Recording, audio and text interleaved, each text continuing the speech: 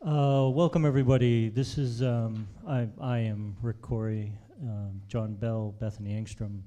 Uh, we are researchers in collaboration.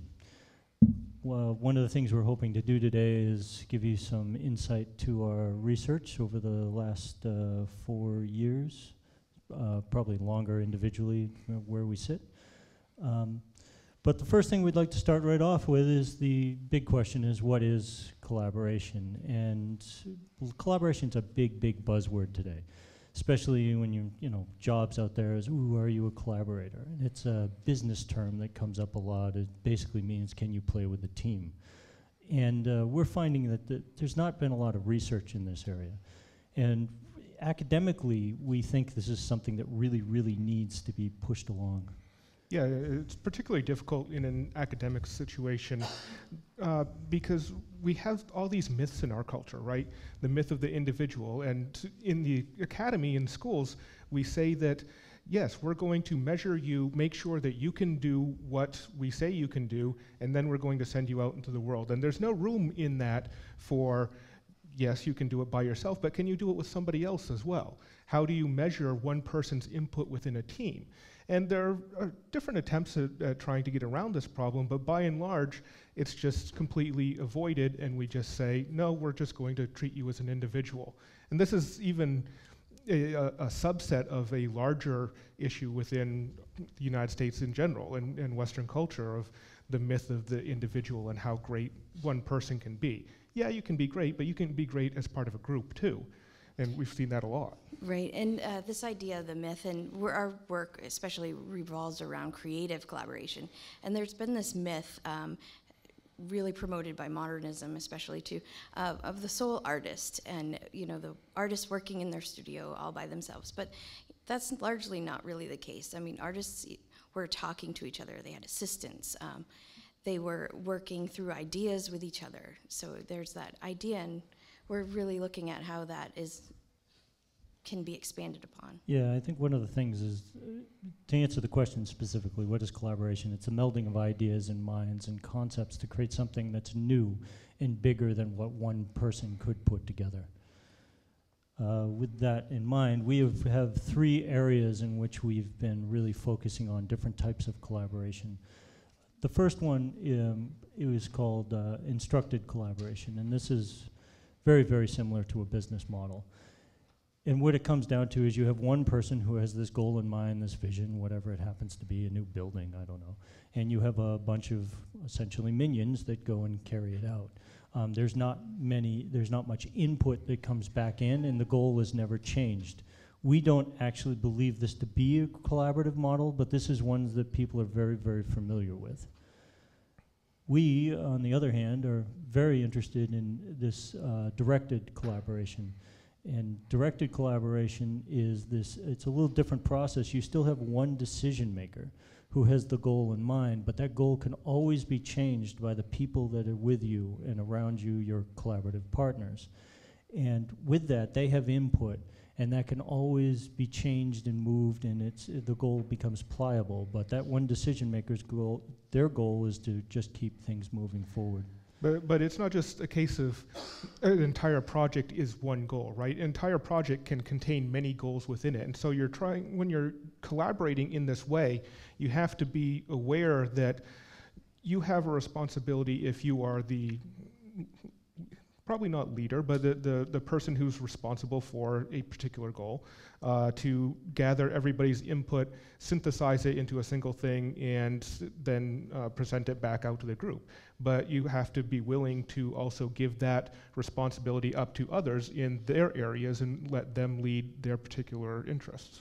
And this model is um, one that you find a lot of artists working today, especially artists working interdisciplinary across disciplines too, with scientists and engineers um, tend to use this model, and it works well for that. Yeah, it's it. Yeah, we we actually think this is one of the best ones. The other model that people seem to be very familiar with, and uh, this is the third, is this mutual collaboration concept. And basically what this one is, you have one goal and you have a group of people that all give input into the goal, but the goal can't move unless the entire collaborative group decides that that's how it needs to change. Um, it, what happens in this process is it becomes slow. It becomes a lot of debate and a lot of moving around on how do we actually move this concept forward. And it, it becomes a real problem at some points. But, but it's not just a case of, you know, a lot of times when you're trying to make decisions together, you think, oh, well, there's one lazy person in the group that's not carrying their weight. Well, the opposite can be a problem too, right? There can be one person that's super hyped or super ambitious about something, and so they get their goal and they say, okay, I'm going to go accomplish this. And they work down the road and try to really come up with a solution, but then the rest of the group, when they the solution's brought to them, they look at it and say, wait, what? We, we, we had no input into this. And that creates, in many ways, an even bigger problem than somebody who's not contributing in the first place. Hmm. And of course, these are, um, there are many more models, but these are the ones that we're really focusing on, that we're testing out and experimenting with. Um, so the big question is why is this important and why is this important to you? Because very simply, no matter what you end up doing in life, you're going to collaborate.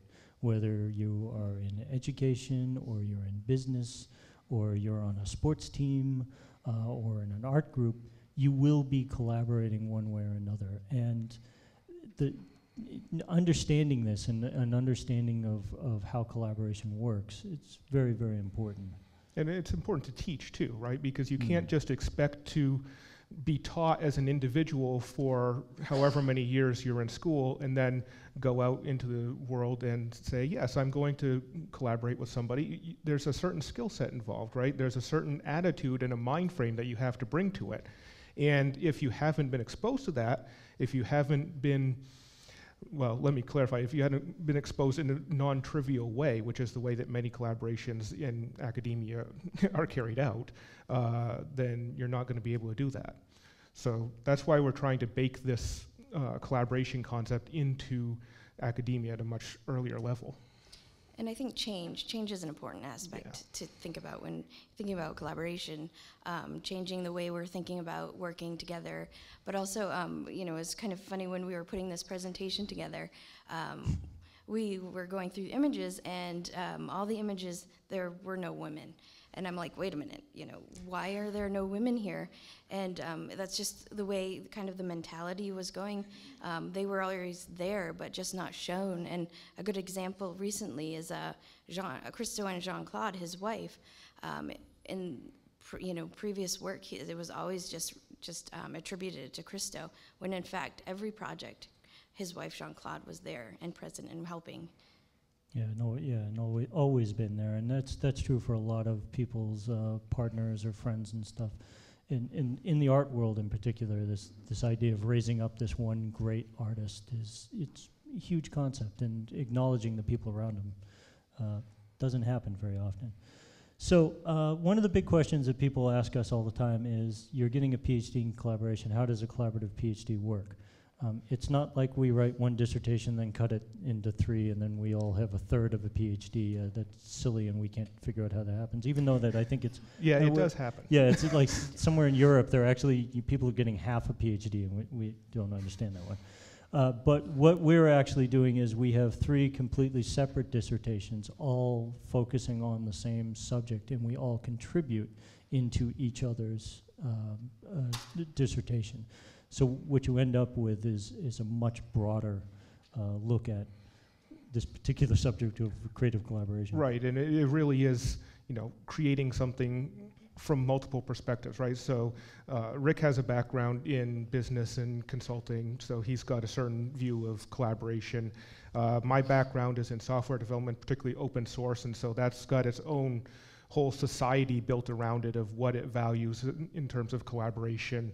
Uh, Bethany, as she's already mentioned, demonstrated a couple of times here, has a background in art history and has looked at a lot of those artists that have collaborated together. So Right, and what we do, we really um, focus on and u- f- uh, utilize each other's strengths. We each have our own um, strengths, uh, as John was saying too. And but this diagram is really pretty accurate about how we go about our collaborations, in that we have our own areas.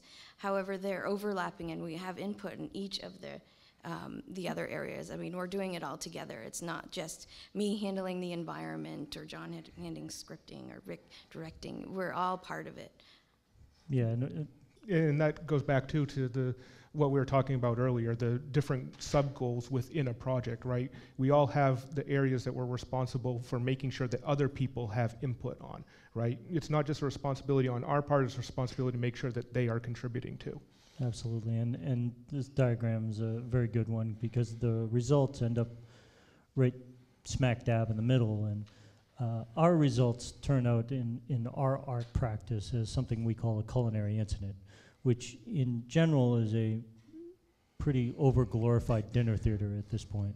Uh, what it end up, we not only collaborate with ourselves, but we end up collaborating with community and actors and other artists and craftsmen and so people come in and, and they, you know, they, they'll build bowls and things like that for us. And in the end, what you end up with is this kind of uh, two-hour crazy immersion thing that we bring to the community and local food and so forth. And it, it ends up being kind of uh, a fun at the end.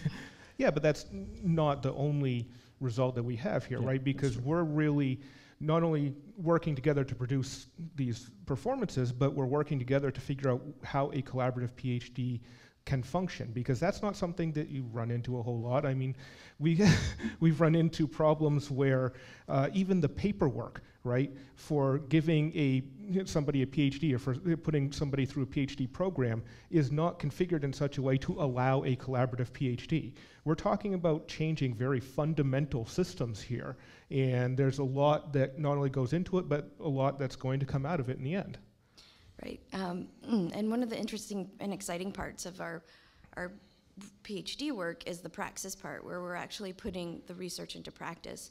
And we do that together um, in these uh, events, but we also go outside and we work with other people. Um, I've worked with a number of artists just in different projects in different ways. I uh, recently this summer attended a, a residency program that just uh, looked at new pedagogical models of working together where you go and you live, you work, you create projects, uh, you clean the house, and it's all together uh, for three weeks. house, house cleaning collaboration, I like it.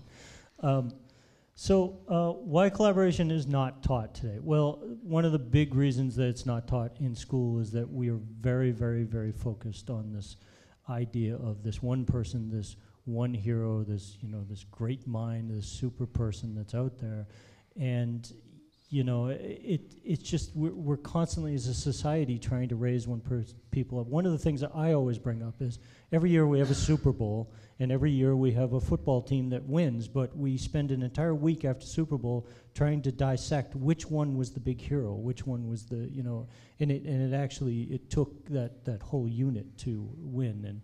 But we're not going to spend any time on this model because you know this this this doesn't make this this doesn't help anybody. What what we really need to be talking about is why should it be taught?